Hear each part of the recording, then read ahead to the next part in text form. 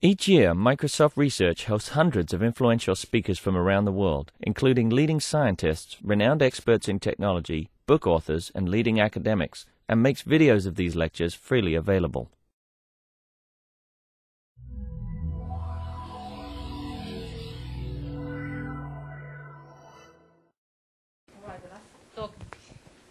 this morning is from the Stern School of Business, New York University, and given by Panos. Uh, okay, so the work that I'm going uh, to talk uh, today is part of uh, a bigger project uh, that uh, we have at NYU at Stern School of Business, uh, which is how we can uh, measure the value of information uh, that uh, exists online. And uh, we are doing that using some uh, interdisciplinary approach, combining techniques uh, that uh, have been used extensively in econometrics with some uh, text mining te techniques. So in particular, I'm going to talk today about uh, one of uh, the projects that uh, we have done, and I will describe how we use econometrics uh, to do opinion mining, and uh, we'll present a case study on reputation systems. At the end, I'm going to discuss very briefly other related uh, projects that will build on these ideas. So since I'm going to talk about reputation systems, let me give you a brief context in which uh, these reputation systems are being used. So suppose that you want to buy a product, let's say a digital camera. So one of the very common ways that people buy products is they go to a comparison shopper, they type the name of the product, let's say Canon, you know, EOS uh, 350D, they get back a list of merchants that uh, sell this particular product for different prices. Now, one of the very interesting characteristics and one of the very interesting phenomena that happens in online is that uh, people don't buy the product that has the lowest price. So if you observe, you know, when people have such lists available, which product they buy, very typically they buy from a merchant that has higher price than the lowest. In this case, buydig.com compared to PC Rush and PC Nation, which have lower prices which actually means that buydig.com has the ability to charge price premium, a higher price than the other merchant for exactly the same product and still make the sale. So, and someone might ask, how often does this thing happen? And we have actually observed many transactions on uh, Amazon, and we observed that this is the distribution of price premiums that merchants can get. So here is the price premium, the x-axis, and here is the number of transactions for which a merchant to get a positive price premium or they had to put lower price than other merchants in order to make the price. Everything that is negative is very rational. It means that you are paying lower price compared to another merchant. Everything that is positive means that you had the opportunity to buy something for a lower price, but still you choose to pay a higher price to buy the product. So what does this mean? Does this mean that people are irrational? Well, not really. What happens is that people, when they buy things online, they don't pay just for the product. They pay in order to buy reputation, in order to buy some peace of mind that the transaction is going to go smoothly. So they pay for transaction characteristics, like how fast I'm going to get the product. How reliable is the merchant? Is he polite? Does he send the packet the product in packaging? So on. So, which means that customers care about the reputation of sellers and they are willing to pay to get this reputation. How do people assess the reputation of sellers? Well, typically each merchant, for example, in this case, the merchant Fiat, they have a reputation profile in online markets where they have the average rating that they got from their customers over the last uh, say 12 months, over the last 30 days, how many positive comments they got, how many negative, and they also have a very large number of textual feedback where people try to with their seller. Something like very fast shipping, perfect packaging, no complaints or I have been waiting three weeks for an in-stock item. This is the worst internet experience that I ever had. So people use text not star rating to the seller, but also give use the text to describe this experience. And of course, we have typically very large number of such feedback postings uh, for online art. Now, if we want to summarize this paper in a single slide, our conjecture is the following. The price premiums that mentioned is actually a measure of the reputation. Reputation is being captured in the text feedback the reputation provides. So in our contribution, what we are doing is we examine how the text affects price premiums. As we will see, we are doing some sentiment analysis as the side effect, measuring the economic value of the text that appears in the text feedback. But let me go to the and the rest of the talk is structured as follows. First, we describe how we capture this price premium. So if we are not, how can we get this information? Then we'll describe how we capture the, uh, the text feedback and then how we connect uh, the two in order to do the opinion mining. So what we have used is uh, we used a panel of 280 uh, software products, uh, and we observed these products over a period of uh, six months. And we used the used goods market of Amazon, where other merchants, except for Amazon, they are selling the same product. And we, as you will see, we didn't use any proprietary Amazon data. We just used Amazon Web Services to observe the marketplace and gather everything that we needed. So what we are doing conceptually is we go to one of the, of the products that we monitor. So for example, Microsoft Office Professional. Then we have here a link that leads us to the secondary market where there are multiple merchants that sell exactly this product for different prices. So for example, Microsoft Office is uh, being sold for uh, $363 from uh, VR, uh, 364.75 by, B, by PCSoft, uh, 364 by Branton uh, Cool, and so on. So what we are doing in order to capture the price premiums, we repeatedly crawl the marketplace and we observe who is selling a product and which, for which price. As long as the product appears, there is no sale. Everything. However, at some point, we will see that one of the items that is being offered disappears. Doesn't appear in the listings anymore. So in this case, we say, oh, okay, so in this case, BuyPCSoft sold Microsoft Office, sold a copy of Microsoft Office for $364. Uh, and at the same time, we observe that the prices of the competitors are, you know, as given in the website. So in this case, we stop and we say, okay, we capture the sale, so now we compute for this sale the price premium that the merchant got for the transaction, which we define as the seller price minus the competitor price. And uh, if we really want uh, to be exhaustive, there are multiple other definitions of the price premiums, like uh, instead of measuring multiple seller competitor pairs, we can have just one average price premium, or we can compute the percentage and not the absolute price. But now for simplicity for this talk, we'll just focus on the regular price premiums. So now we have the price premiums. We said the price premiums measure a reputation which is being expressed in the text feedback. Previous studies of uh, online reputation assumed that uh, reputation is a single metric. It is something like the average star rating that the merchant has or you know, average uh, experience.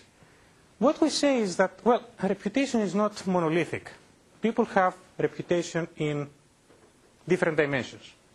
They have reputation for good packaging, they have reputation for good delivery, for responsiveness, and uh, so on. And uh, so in order to find which are these uh, reputation characteristics, we scan all the feedback postings that uh, appear on Amazon, and we capture as dimensions the noun, the noun phrases, the verb and verbal phrases that appear in the feedback. So, for example, packaging, delivery, arrived, shipped. All these describe uh, important dimensions of uh, reputation. So we scan the feedback, we find the most frequent ones, and these are the important dimensions of reputation. Now, okay, we found which are important. However, we don't know what is the reputation that people have in these dimensions. People don't say delivery five out of five, packaging three out of five.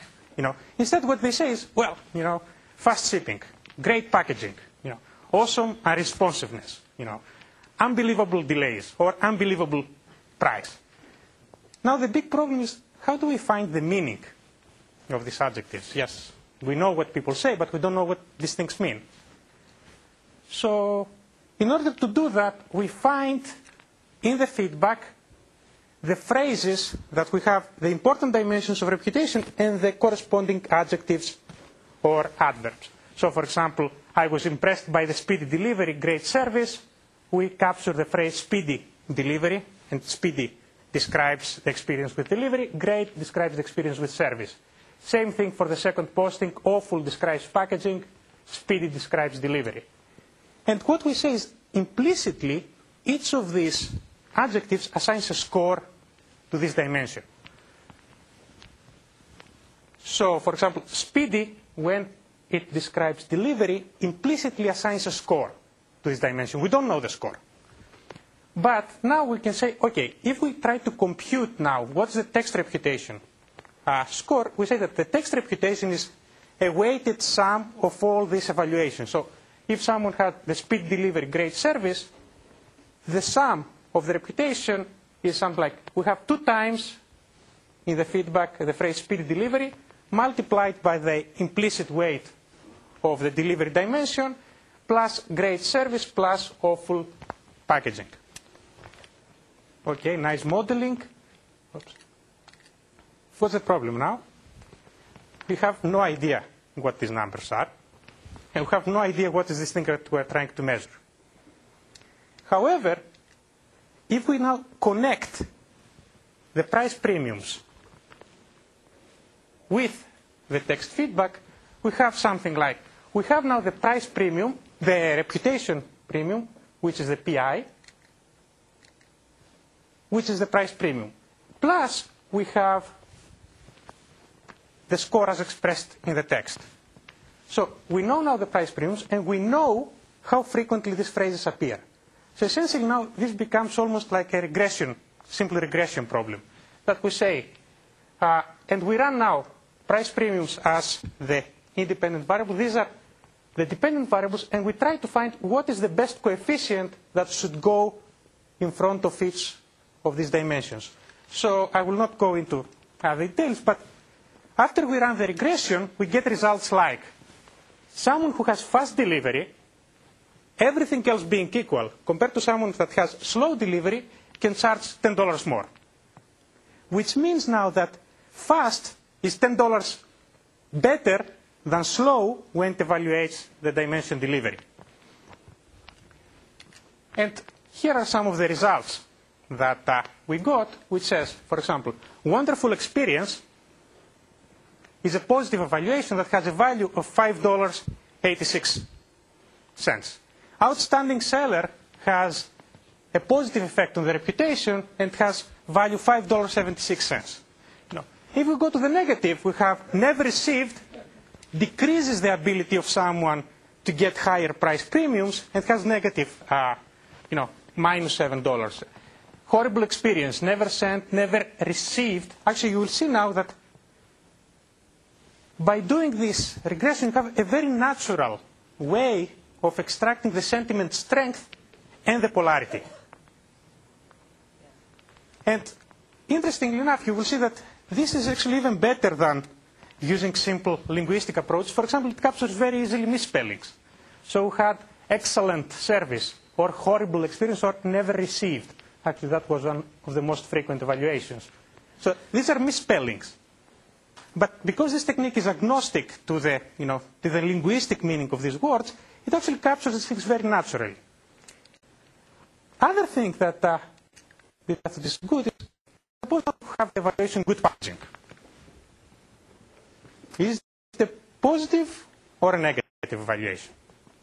We don't have the clicker now. Right. So how many people believe that it's positive? Negative? Well, what happens is packaging actually, within this context, has a negative effect. And why this happens? People in the marketplace say, hey, hey, hey, hey, seller, you know, excellent uh, delivery, outstanding packaging. So a mere good packaging is actually perceived as lukewarm. It sounds like getting a recommendation letter that says, uh, yeah, he's a good student, has good handwriting. So, so actually you can see that once you put the economic interpretation of uh, this opinion mining, you start capturing nicely the pragmatics of the language that is being used within the settings. And you can capture things that traditional techniques wouldn't be able to capture. So some further evidence that we have used to test uh, the importance of this approach, we try to predict what will happen in the future if we use this uh, text evaluations. So what we did is uh, we trained the system on past transactions, trying to find uh, who is going to make the sale given two merchants that are selling the same product, which of the two is going to make the sale. And we built a decision tree for interpretability, and when we added only the uh, price of the product, we have observed that our predictive accuracy is very, very low. It's only 55%, which means that people rarely look at the price. When we add numeric reputation, like the average number of stars, average experience, and so on, we increase, we go to 74%. But when we add the text as features, we actually can reach almost 90% predictive accuracy of who is going to make uh, uh, the sale, which actually means that the text carries more information than the simple numeric metrics. And uh, taking now this idea and extending it to multiple different contexts, we can have very interesting uh, applications. So, for example, we can analyze product reviews and product sales. This has been, uh, this has been discussed uh, earlier today. In this case, what we have is a paper that will be presented in KDD is here. We have much longer text. So in reputation feedback, we had only one line of text. With product reviews, we might have paragraphs. Plus, we have very few reviews, much fewer reviews compared to the reputation. Reputation, had hundreds and hundreds of feedback postings. With reviews, it's good if you have tens of reviews per product. So we, we run into big data sparseness problems, and uh, we have introduced the technique of uh, decomposing, you know, uh, the problem into a lower dimension uh, approximation of uh, this uh, evaluation space and uh, uh, discovering uh, what happens. Uh, how sentiment affects uh, you know, the usefulness of uh, reviews, how this, the financial news actually doesn't affect the stock price, but uh, affects the future variance of the price. We are trying to see how financial news affect the stock option prices. With stock prices actually extremely difficult and has been discussed before, it only has explanatory value, value not predictive value.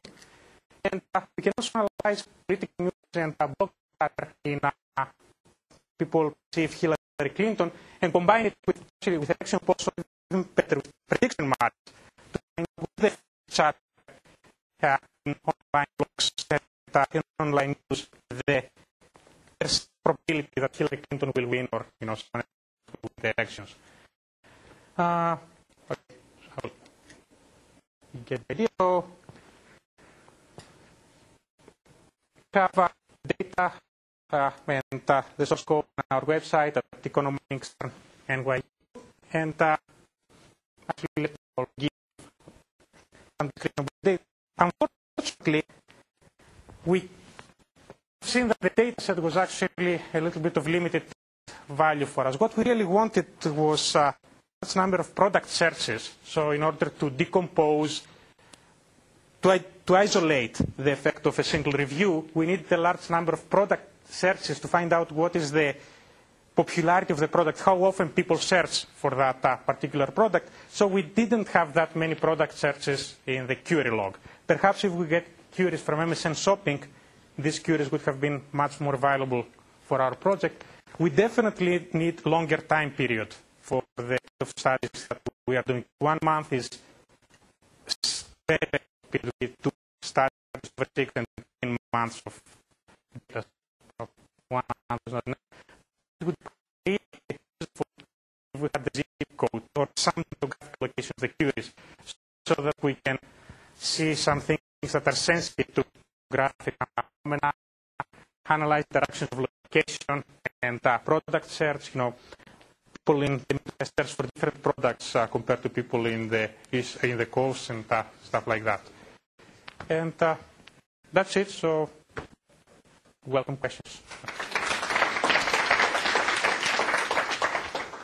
Yes. Um, Hi, Dan Weld, University of Washington. Mhm. Um, Really interesting work. I had a couple questions. Uh, Both are quite short, actually. Sure. Can you back up to where you have the results?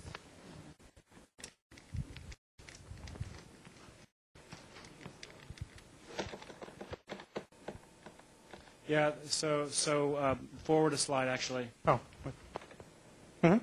Um, so I can't quite understand. You're saying that uh, you got an accuracy of 87% with text only, not including price. Not including price, not including uh, numeric reputation as well. Okay, thank you. Mhm. Um, uh, did you do statistical significance on these on these numbers? Yes, How, and I am very strong. We have very big data sets, and okay. Um, actually everything is statistically significant at the 0.1% level that we present here. Um, so uh, really, really fascinating. Look forward to taking a look at the KDD paper. I guess I had one. when you started the talk, I was wonder, worried a little bit about the methodology. I mean, the results suggest that this isn't a problem, but um, presumably, when somebody's listing a product on Amazon, they typically are listing it various other places too, possibly eBay, many other marketplaces. So when somebody takes it off Amazon, it could be because they sold it. It also could be that they sold it on some other marketplace where they might be offering it for a different price simply because uh, the overhead at, at different marketplaces is different. Any, any thoughts on that? Okay, I will give a short answer and I will delegate to the expert, you know, the economist, you know, who is, can answer these things better. Uh, first of all, people can list the same product multiple times on Amazon in different price levels, and people do that very often, so they can hedge, you know, their, their chances. So I oversimplified a little bit in what I presented. So about uh, the eBay, I think. Well, uh, I mean, you're, you're absolutely right. If someone's selling it on eBay, then we have no idea about that. What we do observe is what what we do observe is, uh, for instance, if some seller is delisting and listing back at a different price, we can track that because every seller has a unique ID as well as every listing has a unique ID. But if it's outside of Amazon, then we have no idea.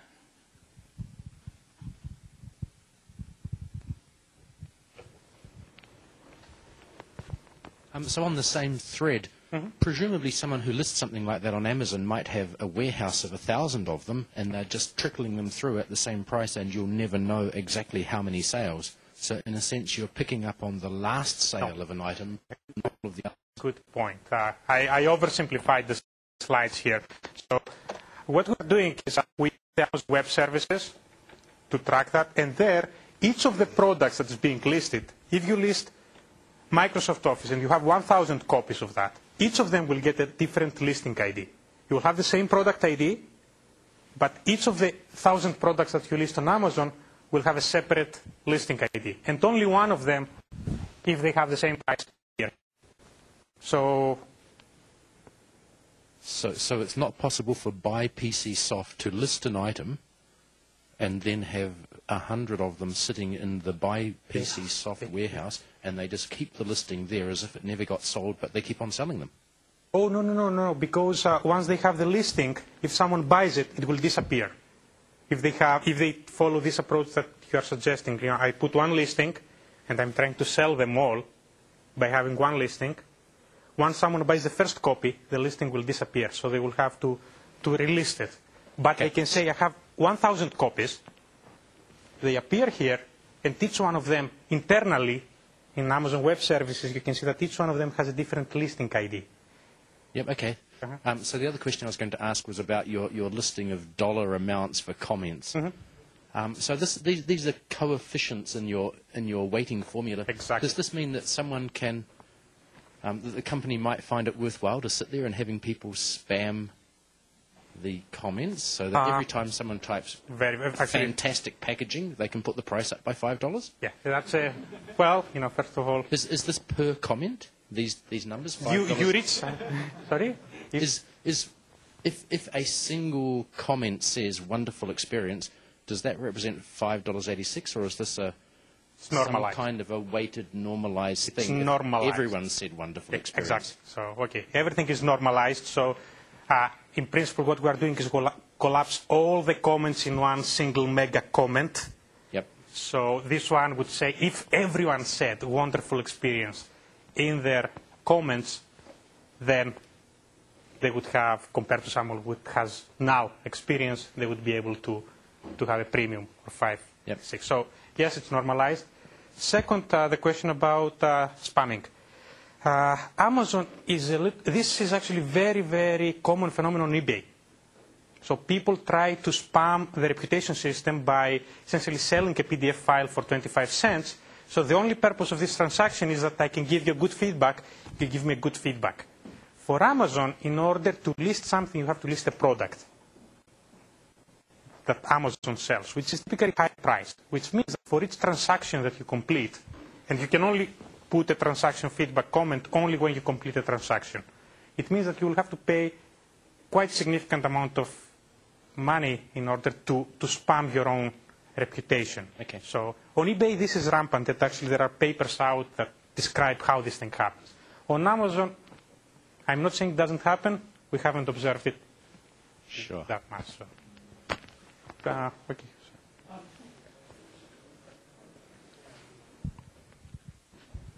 Okay.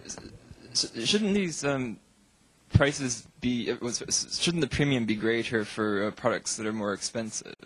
And so, shouldn't you be putting um, percentages increase the Uh, decrease it? Yeah, two, two things. One is this regression first includes the price as a control variable. One thing. Second, if you want to do this percentage, we have to use the relative price premium as the dependent variable. I don't have the results on the slides now, but we also run these regressions. So when, where the dependent variable is not the absolute dollar value, but the percentage on the price. So we just have different definition of the price premium. The results are pretty similar. Thanks. Um, what about, uh, I assume you also controlled for or looked into the effects of um, uh, how many transactions the user had, had gone, uh, the seller had made before? Is that, Yes, yes. um, any comments on the results there? Oh, yes, it actually expected that the higher the number of transactions, the larger the reputation premium that Apple can, charge. And, uh, but we control, the results here actually have this variable as control variable, so it already absorbs its own effect. So, Um, I guess I was wondering, I'm expecting that it's somehow non-linear in the sense that once a person does some small number of transactions, there's so much more. Do you have a sense of what, what that number is? we haven't tried non-linear models. Uh, be- I can tell you why. Uh, because the linear models gives us the nice property that we can see these nice coefficients here. If we put something like an SVM or you know regression, I will have no idea how its feature contributes to the. Okay, we haven't tried it. Seriously.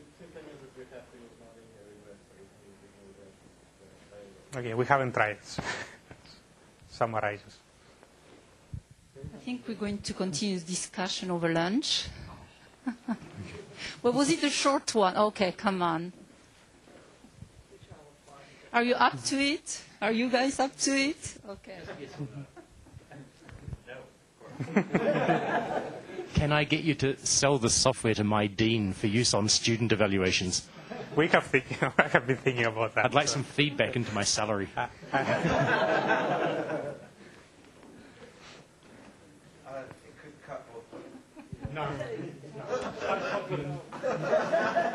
All right, thank you very much. Thank you.